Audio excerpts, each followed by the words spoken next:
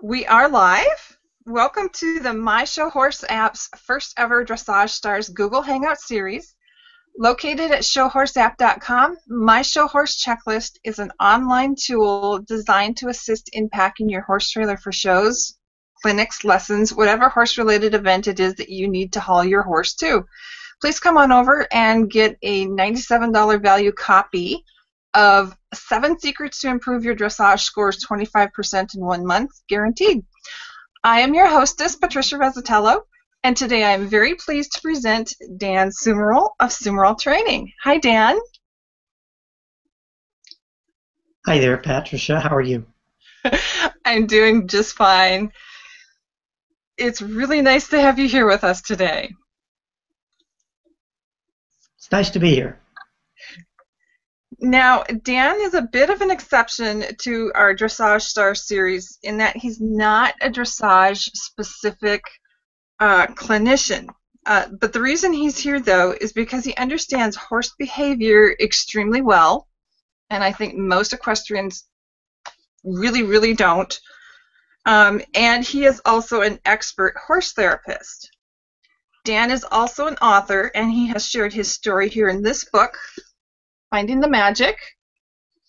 And I highly recommend that you get a copy of this book, read it through, um, have, you know, sticky notes with you so you can scribble on notes and stick them in the book, have a highlighter, you know, mark this thing up. It's it's not just a story, it's a textbook and you want to take notes for you know when you get out there with your horse um, things that you're going to want to do, things you're going to want to look for, things you're going to want to pay attention to. Um, I've been in horses for almost 40 years, and you know, there's always something new to learn, and Dan's an excellent source to go to. If you don't have a copy of this book, get it as soon as you can. Go up on Amazon, you know, they can have it to your door in a couple days. Uh, it's a very good investment. So, to learn how this all developed, we need to go back to the beginning. Dan, would you share with us how you got involved with horses way, way back in the beginning? Well, my way back in the beginning was about 24 years ago. Uh, unlike probably many of the people that are on this show, um, I didn't grow up around horses. Uh, I actually grew up around motorcycles and cars, racing. Uh, when I was in the Air Force, uh, I was on B-52 bombers, and then when I got out of the Air Force, I went back to cars and motorcycles, worked for Yamaha and so on, and really had nothing at all to do with horses. Uh, by a sheer moment in fate that uh, changed my life. Uh, when I was 41, I bought a horse. Uh, I'd sold a business, I had some time on my hands, and I always loved horses on TV, but never was around them. I bought a horse, started riding, and immediately fell in love with trail riding and the horses. Uh, had a beautiful little Arabian. And then I got swept up into a thing that most horse people today still do, and I hear this all the time. Uh, if, if you meet somebody who has horses, it, it's a written rule that you have to ask them two questions. And the first question you have to ask them is, what kind of horses do you have? And they will say paints or Appaloosas or quarter horses or Arabians or warm-blooded whatever's. The second question is, what do you do with your horses? And they will respond with the, well, I, you know, uh, I do dressage. Uh, in Alabama, they call it dressage sometimes or whatever, but uh, I jump, I do shows, uh, I race barrels. They'll, they'll talk about what their sport is. And, and then occasionally, sometimes quite often, I get people who will say, well, almost apologetically, I, I, I, I just trail ride. And I really wish they wouldn't say it that way because when I say I trail ride, I think you should scream, I trail ride. I don't have to go through all the riffraff and all the rest of the stuff that so many horse people do to have fun with their horses. Trail riders just get on the horse and head off into the woods or someplace and have a good time. So I was the trail rider type. Um, I, like I said, I, I got into endurance racing by almost accident because you kind of have to have a purpose when you're spending so much money on horses. Uh, when I got into endurance riding, I realized that I couldn't run the same horse every weekend, and I wanted to ride a lot, and I was getting really interested in it. So I went out and bought my own horse, uh, and the horse that I bought is the horse on the cover of my book, the second horse to be an endurance horse. His name is Sonny, and his, he's the reason I'm here. He's what changed my life. Many of you can look back on moments that changed your life. Buying Sonny was that moment for me. He was a rogue stallion. He reared, he bucked, he kicked, he struck. He had rolled over people that tried to ride him. He had scraped people off on fences that tried to ride him. He had been ridden, but not a lot. And many of you not right now are probably questioning my sanity and saying, why would a somewhat novice horse person buy a rogue stallion? And the answer is quite simple. I had an extremely good reason. He's really pretty. And many of you will laugh, but many of you have bought horses for the very same reason. When I bought the horse, I didn't have any idea what I was in for, but I just felt that I had to have this horse. When I bought him, I was able to catch him, saddle him, and ride him, which many people had not been able to do. And our first four rides in the mountains of Colorado were absolutely fantastic. He was fast, he was agile, he was beautiful, he was wonderful to ride. The next ride, not so much. We were about three miles from home. He decided we were going back early. He turned around and we went home in a flat out gallop. That was my first experience on a runaway horse. And uh, it was also quite an eye opener. Now, I must interject that had I not been a motorcycle racer, car racer, my hobby before was jumping out of perfectly good airplanes. Had I not been involved with activities like that, being on a runaway horse for three and a half miles in the mountains of Colorado, so we're not talking about a 30 second runaway lap around an arena or something. This went on for 15 minutes. And I probably wouldn't have dealt with it as well as I did but I saw it more of it as a challenge. It was very exciting, and I liked the excitement of it. So I continued to ride the horse.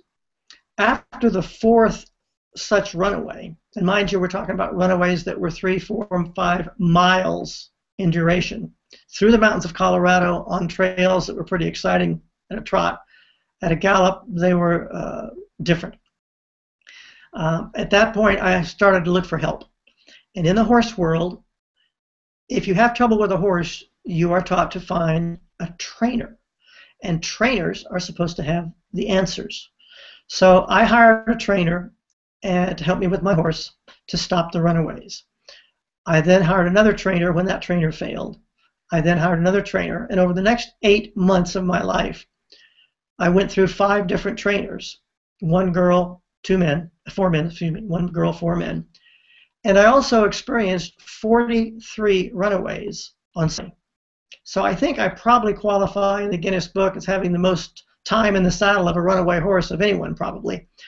But that's not necessarily a title you want to brag about, I guess. I am happy about it because I survived and I'm still here, and that's a good point. But the bottom line was when the five trainers who tried severe bit, we tried some of the most severe bits you've ever seen. None of the bits ever stopped the horse the trainers, four of the men, all four of the men, were unable to ride the horse. And if you think about it, if a horse refuses, absolutely refuses to be ridden, his size and his strength is going to make this a very awkward situation. Sonny's not that big. He's about 850 pounds, about 14, 2 to 3. But he would roll over people. He would buck. He would run you into the fence, whatever he did. And he was successful in not having people ride him. Yet he was letting me ride him three or four times a week. So this was a kind of a conundrum to me at the time. Later I realized he didn't want to throw me off. He didn't want to not go for the rides. He just wanted to be in charge. He wanted control. And I had no way to take control back from him. The bits didn't work, the tie downs he broke.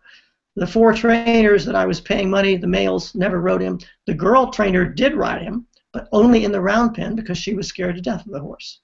This is the same horse that me, the neophyte, was riding three or four or five times a week in the woods, and most of the time loving it.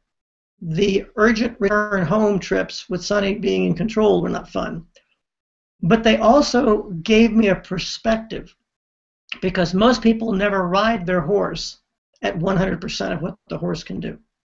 Most people ride their horse at 30, 40, 50, 60% of what the horse can do. And if the horse really starts to be extremely fast, people get panicky, slow the horse down, get off, whatever. I got to experience what a horse, when he's in charge, going where he wants to go, as fast as he wants to go. I got to experience what that was like. And I will tell you, many times in those runaways, he would go into a group of woods and a tight trail at a speed that I knew we were both going to die. We didn't die. He could do it. And not only did we not die, but he never even banged my leg into a tree or anything of that nature. And I wasn't that great a rider either then. And many times I would get out of position where he could have pitched me on my head in a blink, but he didn't do that either. He would move underneath me.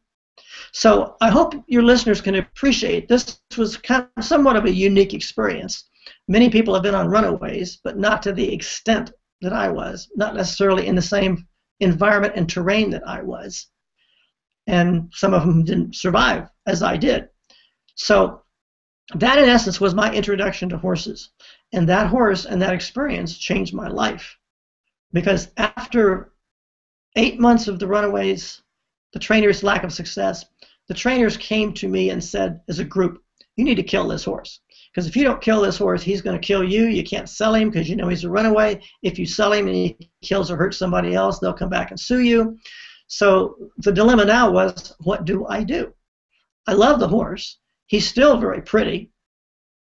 And I'm not going to kill the horse. So I had sold a business. I had a lot of time on my hands. I put the horse in a pasture, and I went to find somebody, some trainer, who could fix this horse. And I started going to clinic after clinic after clinic. I liked the idea of what they called natural horsemanship, although in many situations today the name natural applied to horsemanship is completely bogus. But I went to these clinicians and these trainers, Buck Brannaman, Ray Hunt, Pat Parelli, John Lyons, Monty Roberts, Richard Shrake, you name it, I went there. I also bought their stupid sticks and halters and ropes and all the other paraphernalia they will sell you in order to be natural with a horse. And being an adult, knowing I didn't know much about horses, but also having a fairly logical mind, I kept asking myself, why do I need all this stuff to be natural on a horse? Now, I know a lot of you have beautiful tack, beautiful bridles, beautiful saddles, ornate things, and I appreciate all of that. But to me, the horse is the most beautiful when there's nothing on the horse. And so when I end up in a saddle, I ride in a dressage saddle. Not that I'm a dressage trained rider, but because it's the smallest, most perfectly fitting saddle that I could find. Fitting me, fitting the horse in the opposite order. I also don't use bits, don't use shoes, and there's a lot of other things like that that I learned later on. But working with this horse and going to these different clinicians, I went to clinic after clinic after clinic after clinic for months. And would you be surprised if I said I got a bit confused? I heard different things, I heard the same things, I heard a lot of odd things. But after the eight months and all the stuff and all that I went through, and after all the clinics, I went back, put Sonny in a round pen, and in about six weeks, I was riding him with a halter and no more runaways. And that was a major change. And I'm not sure exactly at that time, I wasn't sure how I did it. I was trying to emulate what I'd seen in the clinics, and I did the best that I could. And in six weeks, the result was pretty impressive. And at that point, people began to come to me and say stupid things like, Dan, you must have the gift. Or Dan, you must be a whisperer, which I thought was rather absurd. But the follow up comment they would always make is, you know, I've got this horse, it's a pain in the butt, and she's so and so, and blah, blah, blah. And you want to, so you did so good with Sonny, would you ride, would you work with my horse and see if you can fix her too, or fix him too? And I was so naive, I said, sure. And that was the beginning of my business, retraining problem horses. The horses that I worked with taught me more than all the clinicians, I think. But the one person who actually did help me the most was a man I got to work with shortly after all this transpired, a man named Gunther Gebel-Williams, who was the head trainer for the Ringling Brothers Circus. He passed away a few years ago, but he was an incredible, incredible individual. And he not only worked with horses, but lions and tigers and leopards and elephants, you name it. And one of the things that he told me very much in the beginning, he says, if you want to control a horse, which is what we're talking about here, when you have runaways or you have behavioral problems, you're talking about controlling the horse. He says, if you want to control any animal, he says, first thing you do, and this is going to be hard for some of your listeners to do, sit down and shut up. Stop talking to the horse, stop thinking so much, and watch the horse. Learn about the horse's behavior and how he interacts with his other horses. And use what is, here comes that word, natural to the horse as far as behavior goes. And control the horse using what you learn. After talking to Gunther and being around Gunther for a couple of weeks, it really changed my perception and my attitude towards horses. And that got me on a different path. That combined with the thousands of horses I've worked with in the last 20 years uh, has brought me to where we are today. And it was a beginning that you probably couldn't write if you were doing fiction, but it was an experience to live through that I wouldn't trade for anything. And it has changed my life, and in fact allowed me to change the lives of thousands of people around the world, training and to help thousands of horses. And that's something I'm very thankful for. Yeah, certainly if you hadn't had experience with motorcycles and race cars and jumping out of good airplanes, anybody else would have said, "No, I'm out of here." that kind of runaways, my goodness.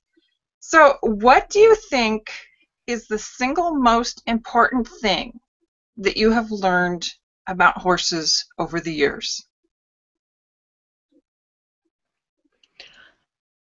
I think the single most important thing I've learned about horses is to not listen to what the horse industry is telling me about horses, but as Gunther said, study the horses, watch the horses, and go by what they do. Uh, we people, we human beings, are the top species on the planet, and we want to ride the horse. We want to do whatever activity it is with the horse. So we grab the horse and we start trying to get the horse to accept what we want them to do. And God bless them, horses are so adaptable and so pleasant in so many ways that most horses really, really try to do what we're asking. But there's often a communication problem. And I think when I say not listen to what the industry tells us about horses, I'm talking about so many of the myths that have been created that are taken as gospel truth. Uh, so when I was working with the horses, certain fundamentals started to show up for me. Things that seemed obvious after what Gunther said, but somehow have missed the translation into what the horse industry teaches for the most part. Uh, and I'll give you a couple of examples. When you're trying to control a horse, what you are really trying to control is the movement of his body. Now, as simplistic as that sounds, if you think about it, if you are trying to put a horse in a trailer, are you not trying to control the movement of his body and have him go in the trailer? You can take your Cocker Spaniel, and if you have to put him in the truck, you can pick him up and put him in the truck. That approach doesn't work when you're dealing with a thousand pound horse. The horse has to go along with what you're asking. But what we're trying to do is control the movement of his body. If you want to get more complicated or more simplistic, if you want to pick up his foot, people try to pick up the foot to clean out the foot. If the horse is standing on the foot, you can't pick up the foot. And as soon as he agrees to let you do what you need to do, when he agrees to let the foot be picked up, we all know it takes an ounce of pressure or nothing to pick up a foot that a half a minute ago you couldn't move with all your force.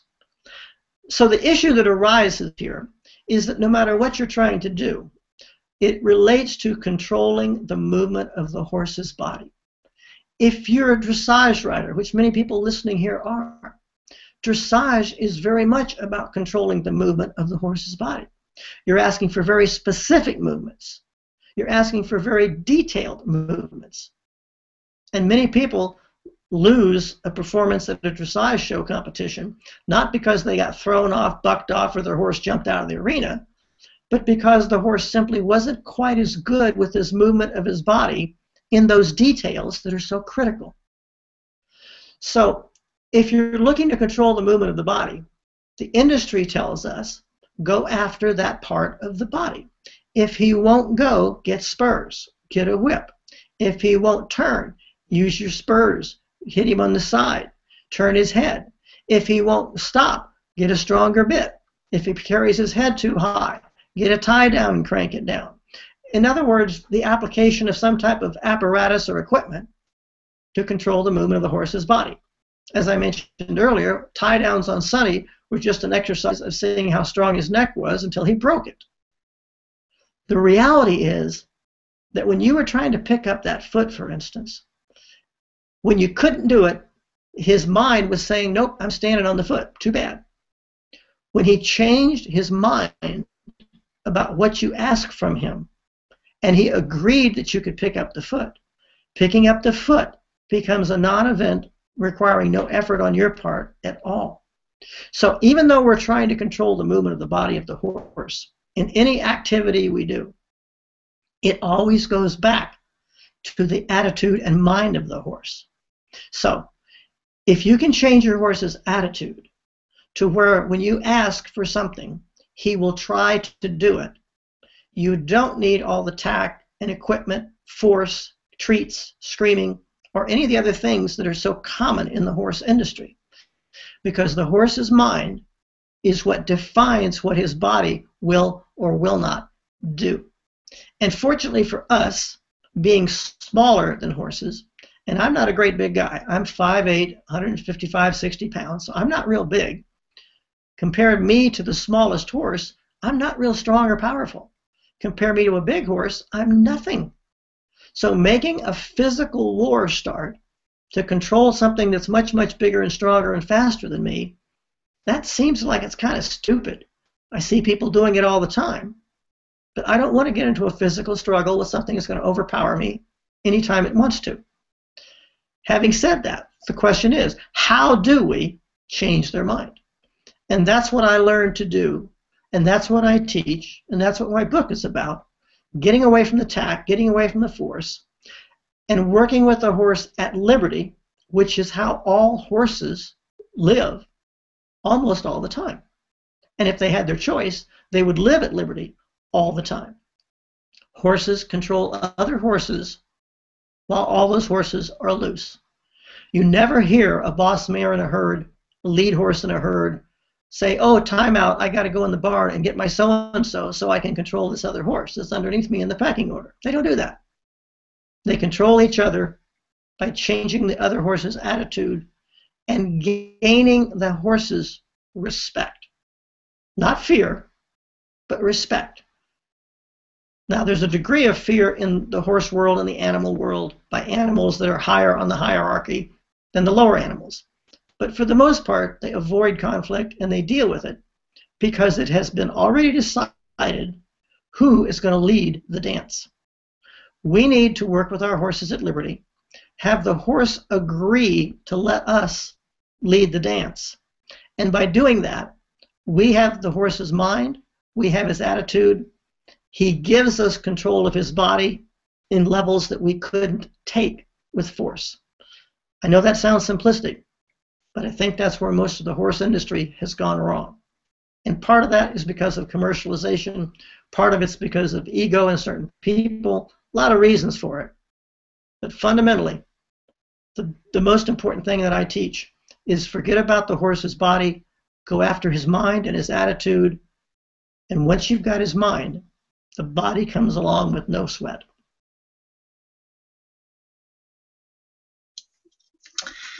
Yeah, that's that's definitely how it works. Now, how did you connect the concept of horse being in pain to misbehavior or poor performance? Well, that was one more of those life changing moments that I ran into. And as I've already, I think, illustrated with my conversation, I'm not always the smartest guy in the planet uh, probably getting back on for the 44th, 43rd, 42nd, 41st, 39th runaway, maybe because some people would have considered a bad judgment. So I don't always do things right. I do try to learn from my mistakes. Uh, when I was in first in endurance racing, I was in South Dakota one time doing a, a, race called the Race of Champions. It was 100 miles in a day, one one mile race. Uh, I'll never forget it because as, as I was on the ride, I could look up and see Mount Rushmore, and it was just the best way in the world to see Mount Rushmore is when you're riding a horse through the woods and there's Mount Rushmore. But before the race, when everybody gets there a few days earlier to settle in and everything, I had noticed a group of people with several horses standing around, and some people had some equipment out, little small pieces of equipment. One machine was going beep, beep, beep around the horses, and the other machine had red and different colored lights, and they were working on these horses. And I thought this was the dumbest, funniest looking thing I had ever seen, and I wanted to know what the devil these people were doing. So I walked over and I started making all kind of jokes and cracks and things of the nature. And uh, the whole idea of what they were doing, they were scanning a horse or something with this one thing that went beep beep and trying to find physical problems. And then they were putting lights on the problems to help the body heal. And I thought this was hysterical. I made some really great funny jokes about it. And then this woman hit me in the ribs with her elbow. And she said, Don't you laugh at this until you see how this can help your horse and she was one of the top endurance racers in the country at the time. And I looked at her. And I says, "You use this electronic voodoo junk?" And she says, "You bet I do." And she said, "You should be using it too." And I says, "All right, show me how your electric voodoo works." Now that cynical first impression was my first introduction to the therapy equipment for which I would later own the company. I saw them work on horses with this machine that would locate where problems are. And if I can digress one second, if you stop and think about it, when you have a horse that is not moving well, not performing well, lame, uh, there's all sorts of myths in the horse industry and, and, misconceptions about what do you do about that. I, I remember asking a lady not too long ago, I said, How's your horse doing? She says, Oh, he's not lame, he's just great. Now, that's the most absurd thing you could say because that's assuming that a lame horse has problems and a horse who is not lame is all right. And to answer that, I would give you a suggestion.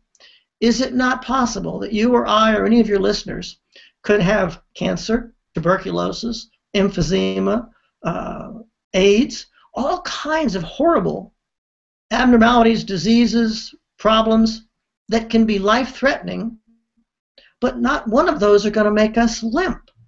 So if we assess the horse's physical condition by whether or not he's lame, we are missing an enormous number of problems that may need to be addressed. Well, with this equipment, the scanner, using existing physiology that every doctor learns in first year med school, goes over the horse's body externally and it beeps whenever it finds a physical problem. It'll even beep loud when it's serious or beep very softly when it's a minor problem. And it can find muscle problems, joint problems, tendons, ligaments. It can also pick up active acupuncture points, which are indicative of internal or systemic or structural problems. Uh, as they scanned over the horse, they would actually take a little water crayon, every place the scanner beat, put a mark on the horse. And a lot of the horses had a lot of marks.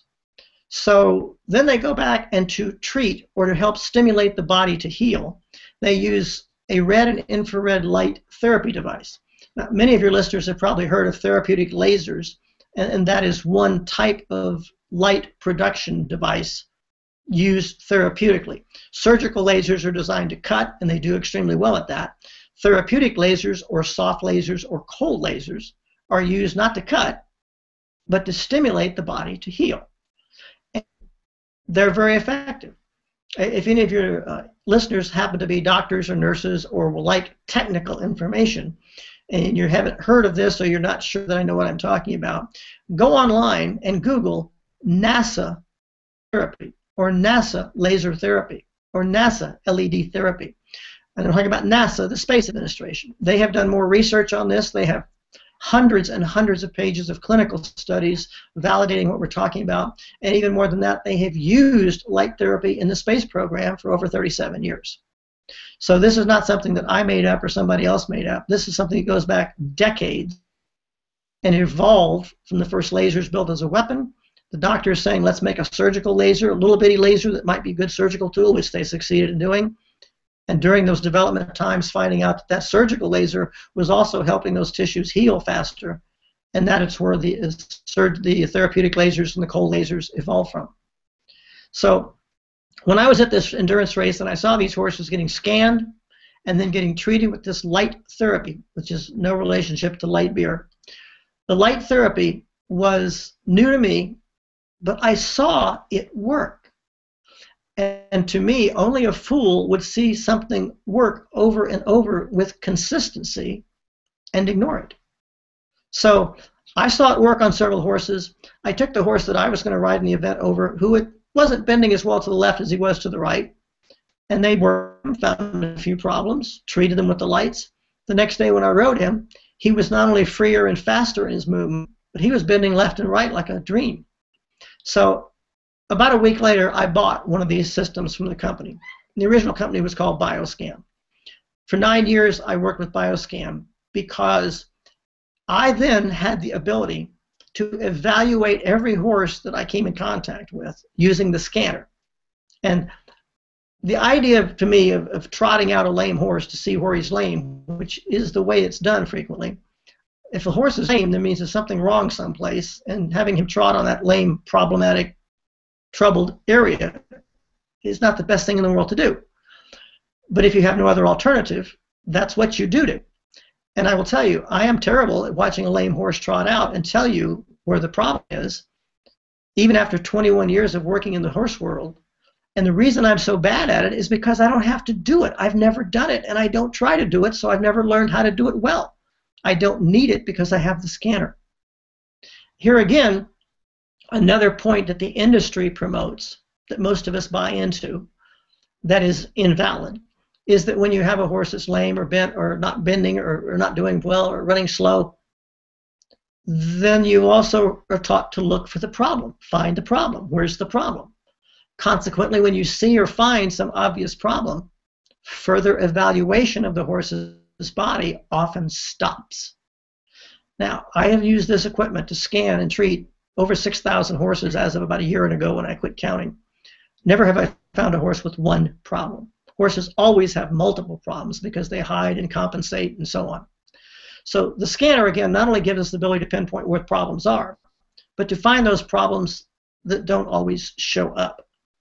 Now, when I started using this equipment, a little light bulb went off in the back of my somewhat empty head and told me, you know, when you feel bad, Dan, when you're really hurting somewhere or you're tired or you're miserable, even if you're just hungry, sometimes you get grumpy.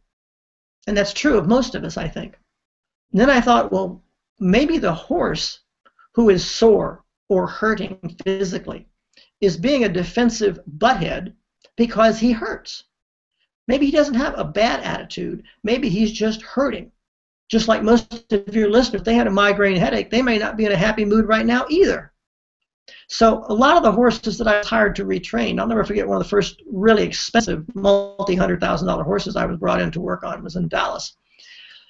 And the first thing I did with the horse was to take the equipment and scan him, and I found a lot of different physical problems. His hamstrings, his hips were a wreck, his neck on one side was a mess, he had several vertebrae out, a lot of acupuncture points showing up not uncommon, but this horse had a lot of physical issues. I scanned him, I treated the problems, treated the problems again that night, scanned him the next morning again, some of the problems were already gone, treated the problems again that day. In two days of working on the horse for his physical problems, his attitude and his demeanor changed 180 degrees.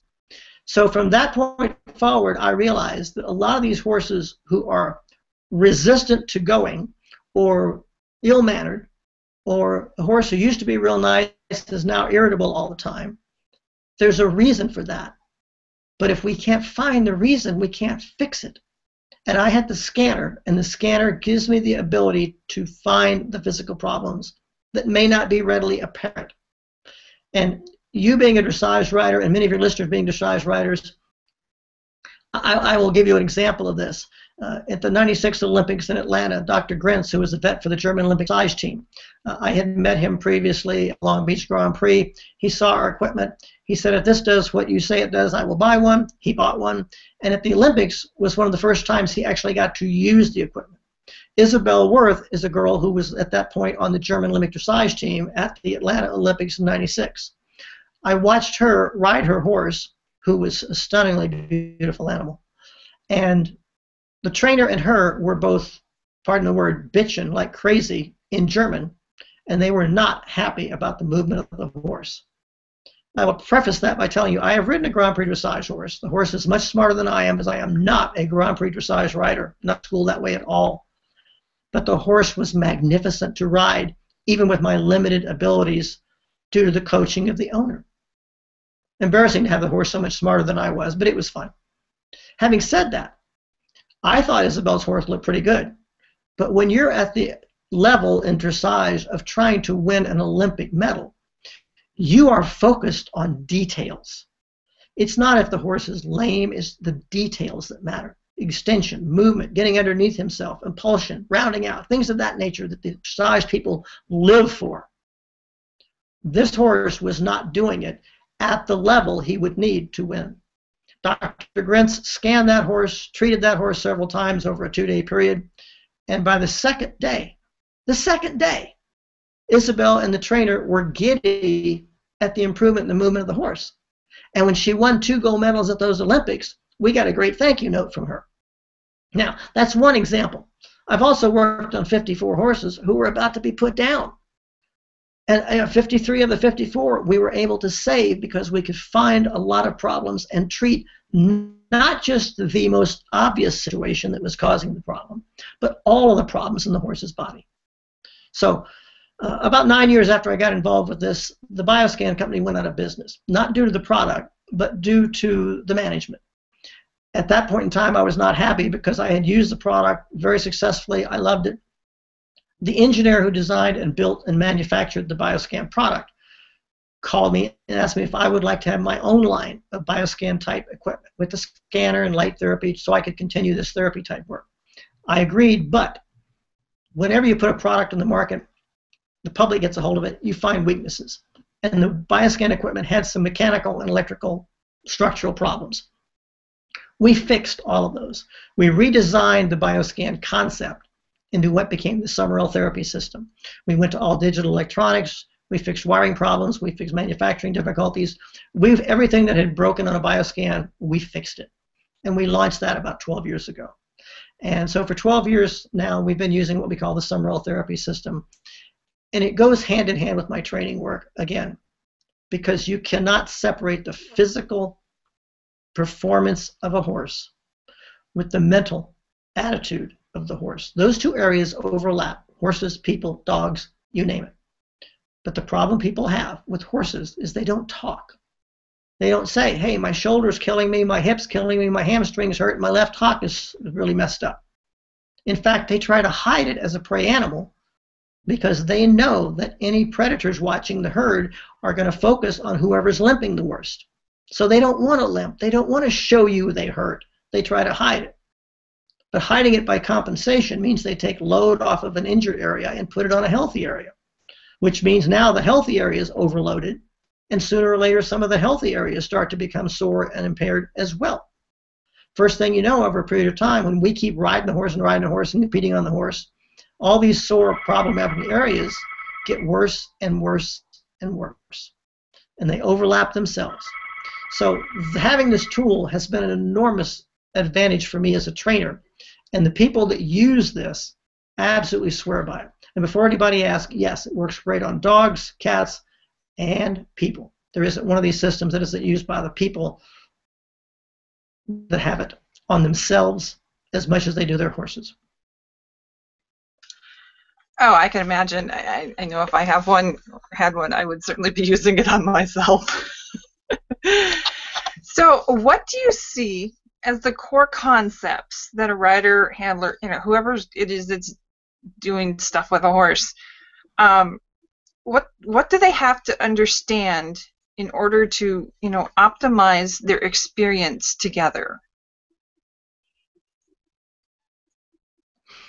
I think the most important initial concept you have to have in this or most any other situations is an open mind. We tend to listen to the horse industry And the horse industry is not bad, but it is in most cases commercially driven. And when you have so many horses that are worth so much money, horses that are performing to win so much money or so much prestige, there's a lot at stake. And the egos get involved and the pride gets involved and all these other things. I would ask people to maintain an open mind and not to prejudge the horse as being bad in behavior without eliminating the fact that the horse has physical problems. That's number one. Number two is the fact that the control of the horse's body, like we talked about earlier, is so simple and so fundamental. To say that everything you do with a horse is always about controlling the movement of his body sounds overly simplistic, but I've been the 15 years I've been teaching the concept, nobody's ever come up with something that doesn't relate to controlling the movement of their body. Well, if you keep the idea in, in your mind that it's the horse's mind that is controlling the movement of his body, and you stop trying to initiate these physical struggles, if you stop trying to solve movement problems with additional tack, then that open mindedness is going to give you a reward from the behavior of the horse when you can change it, from the performance of the horse when he's not impaired with physical problems. Such a reward is pretty amazing. As an example, if you look back, the American Indians, the Native Americans, rode horses all over this country. They rode over some of the roughest, toughest terrain the country can offer. They rode without saddles, without shoes, without bits, without spurs, without training manuals, and they did it as a lifestyle.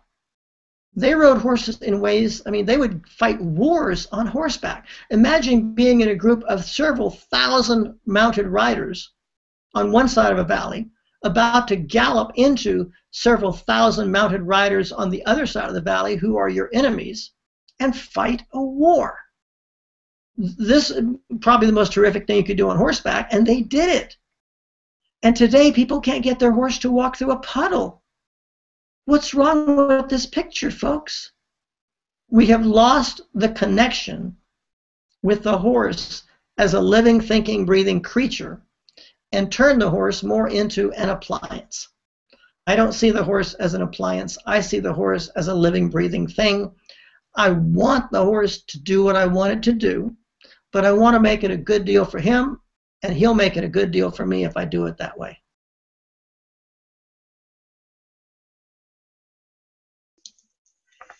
Yeah.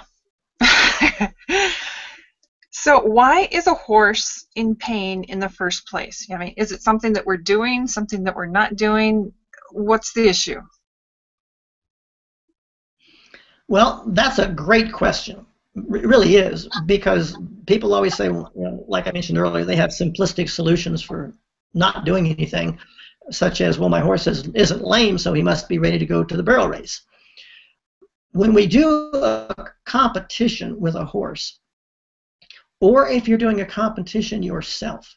Any competition, whether it's tennis, football, running, or whether it's dressage, barrel racing, showing, jumping, or any of those sports, all of those sports require training, which requires repetitive motion. And many of those activities require not only repetitive motion, but repetitive motion at extreme limits of strength. When you use repetitive motion, things start to get tired. And since the owner doesn't necessarily know when something's tired, they may tend to keep going. Uh, it is possible in this country, in certain, many, many areas, for barrel racers to compete on their horses Wednesday night, Thursday night, Friday night, Saturday, Saturday night, and Sunday. Now, if you take your horse barrel racing three or four times a week, that's pretty strenuous. It would be like you running a race three or four times a week. And I'm not saying it to be critical of barrel racers. I love barrel racing. And if you're taking care of your horse's physical condition, you can compete frequently. Many people do. We are our therapy business is very big in the barrel racing world because those horses work hard. So do team ropers, but so do dressage people. Dressage horses, and I'll, I'll share a story with you. The first Grand Prix dressage horse I ever worked on with the therapy equipment was many, many years ago in Denver. At a very expensive barn, very expensive horses gorgeous, gorgeous, almost black bay mare. uh, brought out by the lady who owned the horse, obviously a very wealthy lady, very uh, pleasant person to be around. But she made a comment. She says, I don't know why my vet called to have you come out to scan this thing on your this equipment you use and scan my dressage horse because my dressage horse doesn't have a lot of physical problems. My dressage horse doesn't jump over things or gallop around like an idiot. My dressage horse is out there just performing to look great. Now, she totally missed the point of what a dressage horse is asked to do. And having worked with many, many, many dressage horses from Isabell's level on down, you're judged by details, as we said earlier and any physical impairment that the horse had, or what if there's a physical impairment the rider's got a problem with? Any physical impairment is going to minimize the horse's ability to perform at the level needed to win, which means not did the horse buck you off, but did the horse have enough extension? Did the horse get underneath himself? And all the other details that we look for. So dressage horses and if you're schooling a dressage horse to Grand Prix level, most people realize this is not an overnight process. This takes years to school a hook horse to Grand Prix level. Many horses can't get to Grand Prix performance levels. Part of that is the mental training the horse must go through. But part of that process is the physical development that the horse needs. And I would analogize it to uh, a gymnastic human being because that's in essence what a dressage horse is, is a form of ballet or gymnastics, however you want to phrase it. You can't be a champion gymnast without developing the muscles, the flexibility, and so on to do the actions that your body is being asked to do. And a dressage horse is in the exact same situation. That horse has to develop the strength, develop the muscles to be able to carry himself in the ways the dressage rider is asking him to do. And the lady I mentioned before with owned the Grand Prix dressage horse I was working on, she didn't have a clue to all that. She doesn't ride the horse. She just looks at her horse be very pretty running around the arena. Somebody else does the riding and the training. If you think about it, any repetitive motion, if it to develop strength and flexibility, you exercise it and then you rest it. Then you exercise it and you rest it and you build up the strength and the flexibility. But if you exercise it too much or extend too much or stress it too much, that stress now causes things to begin to break down. And when it breaks down, compensation sets in. compensation alters the natural pattern of movement in the horse. And when you alter the natural pattern of movement, you are now putting undue stress on places that aren't ready for it. So the idea of dealing with the physical issues, the idea of being able to scan a horse all over, it takes about 30 minutes to scan a whole horse, and to find all these, in some cases, minor physical problems. Major physical problems can come from the horse falling or running into something or some catastrophe. Major physical problems can also come from minor physical problems that went unaddressed and evolved from minor to major. My goal is to get more people to be more aware and to have access to this equipment so they can scan their horse and know, not think, not, oh, it looks pretty good, but to know my horse is okay to do this performance. My horse is okay for training today. And if your horse is physically fit, training goes better, attitude goes better, performance is better. Uh, years ago, I was at a national barrel race championship, and the night before the finals, a gentleman brought over a horse, and he says, "My son's riding this horse tomorrow night in the finals in the championship, and we're, we're just not fast enough, just not going fast enough to win." Uh, we're running the low 15s. I think we're going to have to get in the 14s to make this to win this. And he says, use your use your thing there, meaning the scanner and the light. He says, use your thing there and see what this horse has got. I so I scan the horse. The horse had some shoulder problems, neck problems, hamstrings, which are common problems in horses that run hard.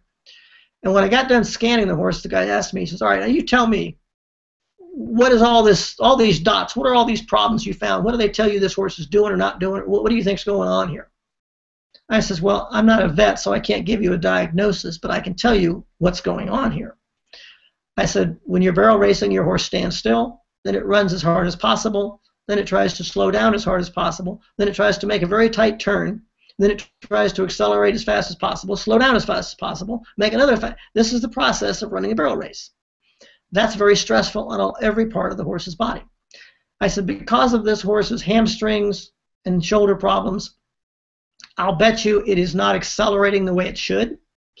I'll bet you that the horse can't drop its back end when it wants to slow down. Therefore, it comes in slowing down on its front end too much, which a horse will, what they call bounce or pogo, on the front end too much, trying to slow down harshly because it can't drop its back end and use its body and turn its body like it wants.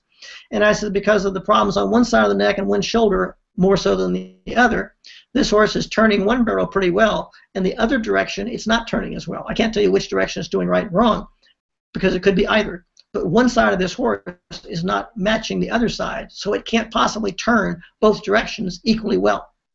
He looked at me very surprised. He says, That's exactly what the horse is doing.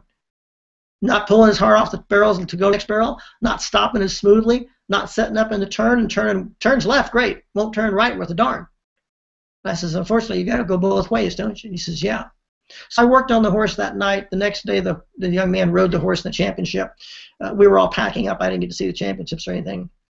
The fellow that brought the horse over, his dad came by. He says, Well, I want to thank you for working on our horse. And I says, You're welcome. How'd you do? He said, We did pretty good. We won. I says, You won what? He said, We won the national championship. Now, he says, When that horse took off, he says, The crowd came to its feet. He said, That horse made the most perfect run you could imagine. Turning left, turning right, accelerated, dropped its back in, coming in the barrel, dropped its shoulder, turned like it's supposed to. He says, It was great. Thank you. He said, How soon can I get one of those pieces of equipment? Now, that's what happens when the horse is physically okay.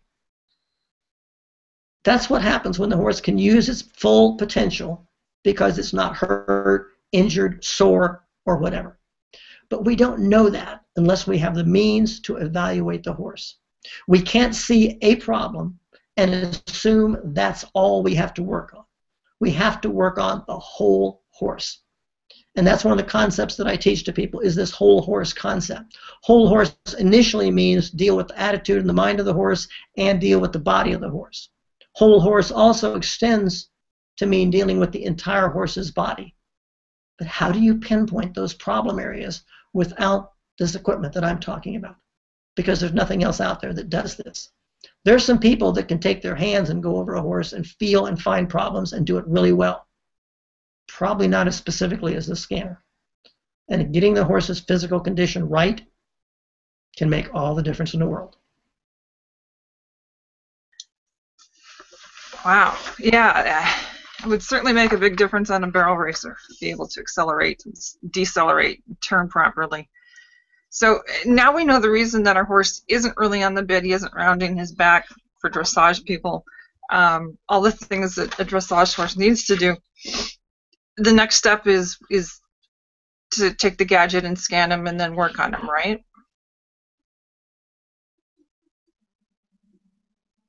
What's our next yes. step? And you know, you you mentioned the uh, you know the barrel racers having to turn all that stuff pretty much every sport that a horse competes in has its own type of stress. Jumping horses have a severe stress on the front end from landing. They have to be really strong to be able to launch to get over the jump. Uh, the endurance horses, uh, endurance horses have to go a long way. And, when you start an endurance race, you have a horse with X amount of energy. So if you use up all that energy too fast, too quick, you don't finish. And endurance rides are monitored by veterinarians at checkpoints every 15, 18, 20 miles. And they have to they, they check the horses out very thoroughly. And if the horse is not in, in good shape, there's any problems, they pull the horse and you can't go on. So it doesn't matter what the sport is, because all the sports, the reason these sports exist is because we love looking at these gorgeous animals and the way they move, or we like feeling the speed that they provide for the racetrack, for the barrel race, uh, all these events. It's all about the beauty and wonder of the horse. But the horse is the one that pays the price for this. So scanning the horse all over finds the physical problems, locates where there are issues, and then using light therapy which is safe, completely effective. And even to this day, after 20 some odd years of using this, it still amazes me that I can take a light, a red and infrared light, shine it on a part of a horse's body, and that stimulates the body to heal. The light doesn't heal anything, the body heals. And healing is always a process. It's not an event. You don't flip a switch, now the horse is fine. Yesterday the horse was broke, now the horse is fine. Doesn't work that way. Healing is a process. Severe problems take longer to heal, take more treatment. Problems that are being re injured by overuse, they're going to take a lot of treatment to get over them because you're re injuring it constantly. But the key is you've got to be able to find the problems and then you've got to be able to treat those problems in a safe, effective way. And uh, like I say, we've we've had such success with this. People that use it swear by it, love it. Uh, it's outside the norm, but so much of what I'm talking about is outside the norm. You also, when you mentioned the dressage and the barrel racers and so on, a rider can contribute to the horse developing physical problems by the poor ability of the horse, of a person to ride the horse. A saddle that doesn't fit a horse can cause serious compromises in the movement of a horse's body. So there's there's so many things that come into play. How the horse's feet are trimmed and shaped that can have an enormous effect on the legs all the way up into the shoulders and everything. So uh, what the horse is fed can create problems for the horse. I've been in situations where horses live in a stall 23 hours a day and get several pounds of sweet feed day after day. That is not conducive. That's like putting your kid in a phone booth and giving him Snickers candy bars and Mountain Dew all day long and wonder why he's climbing the walls. There's things we can do to improve the environment our horse lives in to minimize the problems that we put the horse in stress of getting into. Also, I'll address one more thing that's really critical for this, and that is the ages of the horse. Most horse events start horses very, very young, under saddle, going into competition. In the racetrack world, they have these futurities, and a lot of other sports have futurities as well for two year olds. And starting a horse very young causes a horse to break down in many areas much earlier than it would have ordinarily happened. And when we go back to my sport of endurance racing, I think most of your listeners would agree that if you're going to go 50 miles in four, five, six hours cross country on a horse, or eight hours or seven hours, or if you're going to go 100 miles cross country on a horse in a day or in 10 or 12 hours, that has to be probably the most severe thing you can do with a horse. Not only because of the galloping, the speed, but the uneven, unpredictable terrain, but also the time, the endurance, the continuation of the stress of trotting and trotting and cantering and trotting and walking and cantering, all for hours and hours at a time. Yet, I can show you 15, 16, 17 year old endurance horses. And in many parts of the horse world, a 16, 17 year old horse is old and washed up and may have been washed up for a long time. And I can show you 15, 16, 17 year old endurance horses capable of winning 50 and 100 mile races. And certainly horses into their 20s that are still competing, not winning, but competing in endurance. So, what's the difference? The difference, number one, is that you can't race a horse in endurance until he's five. That's three years older than most horses begin competition. So, most endurance horses don't get ridden until they're two, two and a half and even then they get walked up and down mountains for strength and, you know, and conditioning with no impact, no concussion. And by the time the horse is five and going into some mile competition, the horse probably has two years of moderate conditioning. Plus, the five-year-old horse is pretty much fully developed and fully grown. So here again, the age of the horse that we start working a horse, there's that word working, can have a big impact on how long that horse can perform. If we started working them two years later, we would probably triple the amount of time the horse could continue to run. Most people don't realize how many racetrack horses are killed annually because they have to be put down because of life ending injuries, mainly because they're started too young. I know that contradicts what the industry promotes, but what I'm saying has been documented time and time again. Yeah, and I, I think more and more horse people, especially because we now have better communication due in no small part to the internet, um, are starting to become more aware of things like that. So we touched a little bit on the therapy part. Um, how exactly does the light gadget work?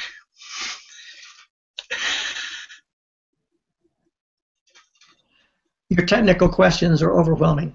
I'm sorry. Um, I haven't got a clue. I haven't got a clue. No, I'm just teasing you. Light has been used for so many things. And I don't want to bring religion in or anything like that, but if you ever read the Bible, the first thing it says in the Bible was, let there be light.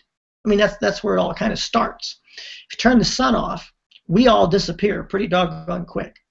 Now, so the sun, we all know, helps grow things. You know, our food is, our vegetables, our crops are grown. Without sun, we don't get the crops. Without sun, the planet gets too cold. There's all kind of things that the sun has caused. Now, one of the big things is that we need electricity. We use electricity in our lives. And look at the growth in the last few years of solar energy power, solar light therapy, solar light, excuse me, not light therapy, solar light being used to create electricity for us. And they always say it's basically free electricity from you have to buy the equipment, but you can put big solar panels on your house and minimize or eliminate your electric bill. That's pretty incredible. Some of these are just things. A lot of people live in the sun with their clothes off, so they have a nice dark skin for tan, and they like that tan look. All sorts of things we do with light. Well, as I mentioned earlier, when the military invented the laser as a weapon 70 some odd years ago, the human doctors, especially in Europe at first, thought about doing surgery with something that precise because a laser, even the weapon and laser can cut steel and it can do it very precisely. A lot of manufacturing now uses laser and other types of uh, injections that can cut steel, aluminum, plastics so precise it's not funny and it's very safe and, and, and very effective. Well, when the surgical lasers were being developed, they were testing on lab animals, and they would do a cut with a knife and a cut with a laser, same piece of tissue, same piece, of, same part of the animal, and the laser cut would always heal 30, 40, 50% faster and stronger than the knife cut. They initially attributed this incorrectly to the laser having certain properties, when in fact what it was was the wavelength of light that the laser was creating. Uh, most commonly today, the light colors that are used are red, blue, and infrared. Blue is outstanding for infections, especially for acne, and is used in a lot of facial work with light therapy.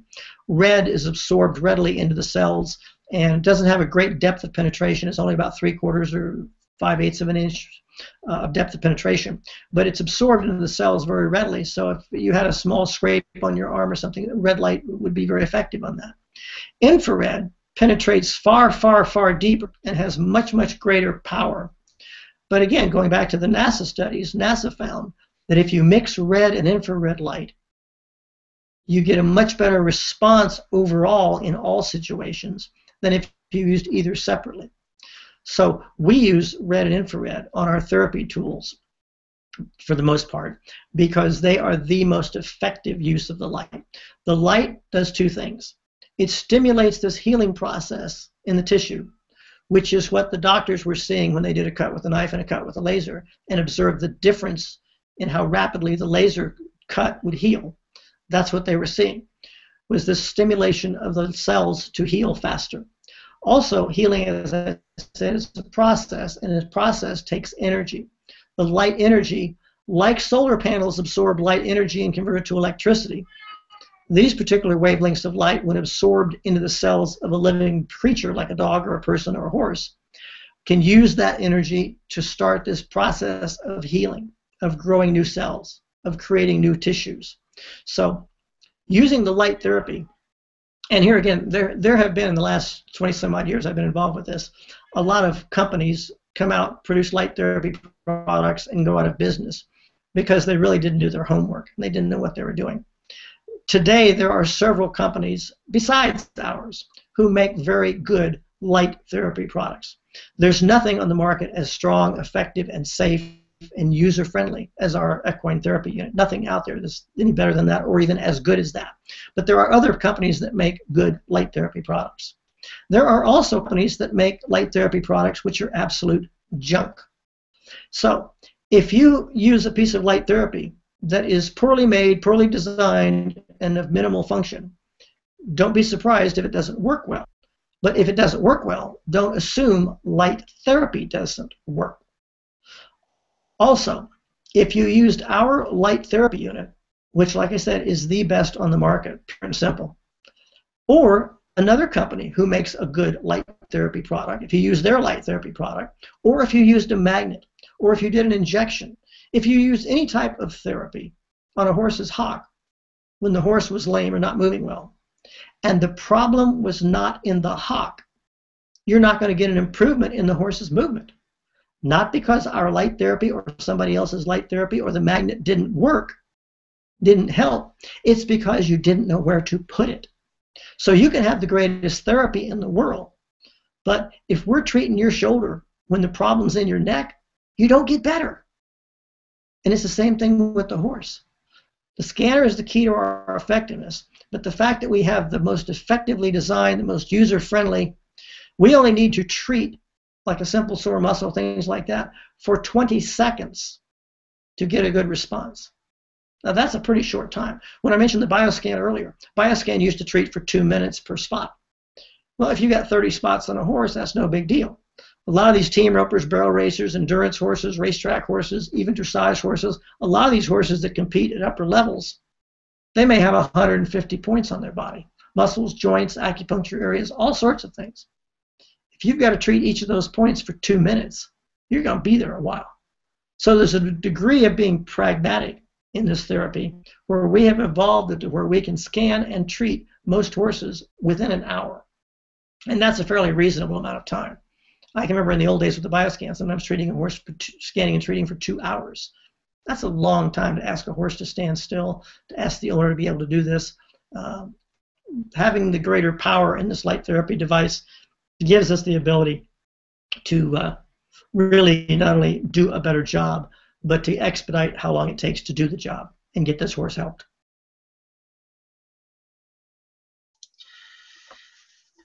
Yeah, two hours. That would be ugh, for everybody involved. Um, my gosh. So I know we kind of touched on this as well, but maybe you could bring us back with one last example. Um, what kind of results have you seen in horses that you've worked with um, with the light therapy over the years? Well, I've probably seen every kind of result you could imagine. Um, obviously, I said there was 54 horses I was called in to work on that were about to be put down uh, for colic and other situations. 53 of the 54 we were able to save. Now, in those situations where a horse is deteriorated to a point of being put down, uh, I didn't scan the horse, treat the horse, and come back tomorrow to do it again. We would actually treat all of the points on the horse, stop for 10 or 15 minutes, go back and treat all the points on the horse again. In a case of colic, uh, there's certain points that you treat, acupuncture points related to stomach, intestines, relaxation, things of that nature. Um, we would start treating those points two points at a time, work our way around the horse, treat all those points, immediately go back and start over again, go back and do it again, go back and do it again. Uh, I worked on a colic horse about two months ago. It had no gut sounds, hadn't pee or pooped, uh, sweaty, respiration was erratic, uh, horse's eyes didn't look good, and generally the horse was just in a serious colic situation. My wife and I began to treat this horse, and we treated the horse almost nonstop for about an hour and 20 minutes. However, during that hour and 20 minutes, the horse changed and evolved. The horse began to put out gas almost immediately. Within 30 minutes, the horse had gut sounds on one side and pooped a little bit. Within, with, by the time we finished an hour and 20 minutes, the horse had pooped three times, peed once, drank almost a full bucket of water. Respiration was back to normal, healthy gut sounds on both sides. Horse was alert, moving, and uh, ready to eat. So depending on the condition, most of the time when we work on a horse at someone's request or at an event or whatever, we scan the horse and treat all the points. And the horse is not about to die. The horse is not in dire jeopardy. So we will leave the horse, and the therapy will make a difference immediately, but it usually runs its course in about two to three days. So, however much improvement you see from one session, three days later is about what you're going to get. Now, I'll, I'll, also quantify that by saying we've worked a lot of events where people were in top level competition, whether it's dressage, jumping, endurance, eventing, racing, whatever. And we would scan and treat a horse each day throughout the competition. And usually, as the horse was in competition for a national championship or something, the horse's performance might tend to fall off. As we treated the horse throughout the week, each day we would actually have fewer points to treat, meaning the horse was getting better, and the horse's improvement would actually improve through the week of treatment. So there's all possibilities of an application for this. Uh, obviously, people who have show horses or competition horses for them to, to, to, wait for me to show up and work on their horse or somebody like me to work on their horse is not nearly as practical as if they have their own equipment uh, to take care of their own horses, to scan them before they leave for the event, to scan them two or three times the week before the event, to get them in perfect shape or as good a shape as possible before the event, and then have the equipment there to use uh, over and over at the event. A lot of times when we work on a horse, the improvements may be subtle and I'll give you an example. One of the most expensive horses I ever worked on was a multi-million dollar Arab show stallion. Uh, he was featured at the Scottsdale Arabian show, and every year they feature a special horse at that show. And he had been off on the right front a little bit.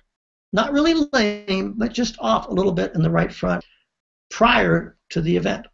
So for seven months, they were treating and, and working with this horse, not with our equipment, but in conventional methods, to get this horse fully sound for his appearance as the featured stallion at this show.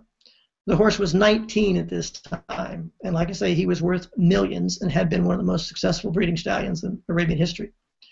When they got to the show, he was still off in the right front. Not lame, not terrible, but enough that if you were trotting him around to look good in front of a crowd, everybody's going to know he's off. So they hired me. They heard that I was there. They went to my hotel, picked me up, took me back over to where the horse was.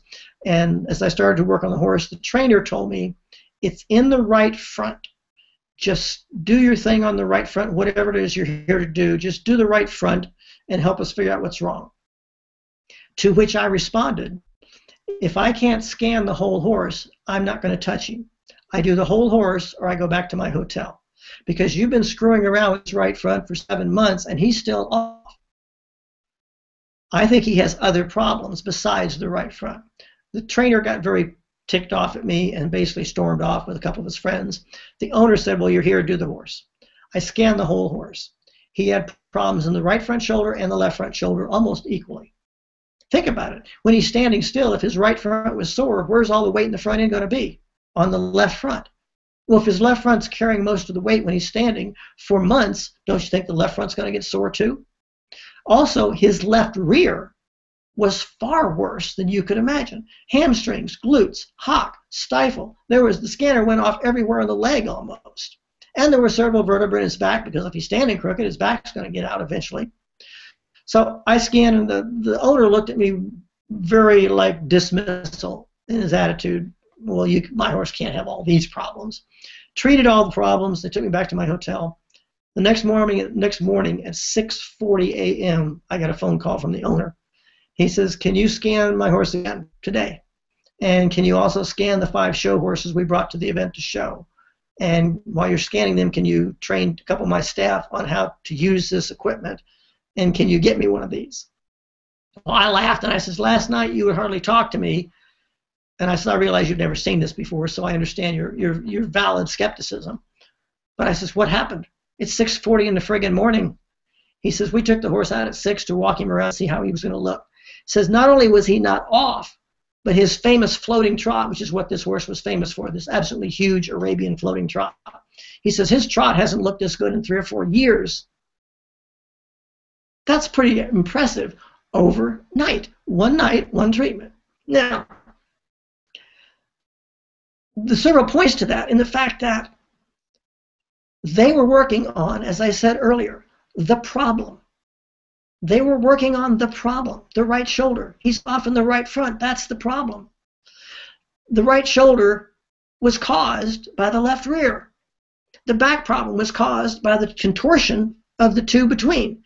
The right front made the left front sore. Now, I can't guarantee you which of these three came first, the chicken or the egg, but what I can do is show you what's there right now. And by showing you what's there right now, we then know, not guess, not what if, not suppose, or think, we know where to treat. And by treating with light therapy, which works, that's, that's all I can tell you, it stimulates the body to heal. When you treat all those problem areas, the overall change in the horse or person or dog can be dramatic. Now, many times this is not dramatic. Isabell Werth's horse at the Olympics was not lame. It wasn't bleeding. It wasn't broken. It wasn't being defiant in its attitude. Her horse was doing everything she asked. It just wasn't doing it at that detail oriented, refined level that Grand Prix dressage requires. Now, simple sore muscles, don't you think that a, number of physical problems like simple sore muscles are going to impede the horse's ability to get that extension, to round like they want him to, to get underneath himself, to do the things that you want the dressage horse to do? So in many cases, when I work on a horse, the change in the horse is like, oh my gosh, dramatic. In many cases, you don't even see a noticeable change until they actually ride the horse.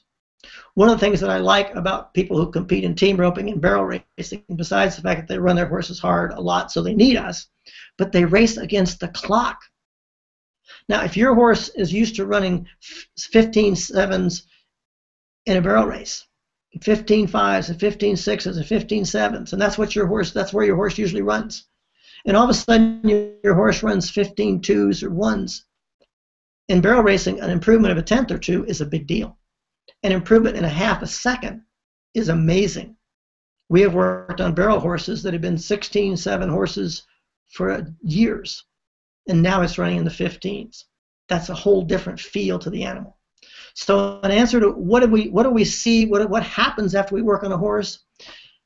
What we always see is improvement.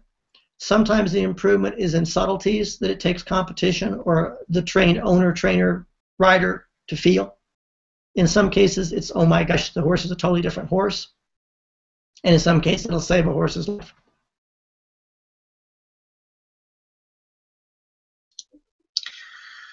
Wow. um, so, what is the best? so, what's the best way for people to get in touch with you? Uh, they can call me at my phone number. The easiest way they might want to get some more information, look at the website, would be to go to sumereltraining.com, and it's S-U-M, like in Mary, E-R-E-L, sumereltraining.com, and then go to the website and they can see things on our training work and the, my best-selling book and the things you mentioned. But they can also go to the therapy page, see the equipment, sit in use, uh, see some of the more of the information that I've talked about here today. If they have any questions or whatever, I would be tickled to have to talk. Well, my phone number is on there. If they want to write it down now, it's 540 384 6220. 540 384 6220. I'm in Virginia. Excellent. And I'll have a One link. more thing I'd like to mention. Okay, great. One more thing I'd like to mention is that we're trying to get more of this available to the public to make it a little more mainstream. In the last couple of years, we've had a number of people get the equipment, not necessarily because they have 25 show horses at home that need it or something, but because they're going to use it as a service type business to scan and treat people's horses for the people that are, have horses in their area. Uh, and this is a very rapidly growing business situation.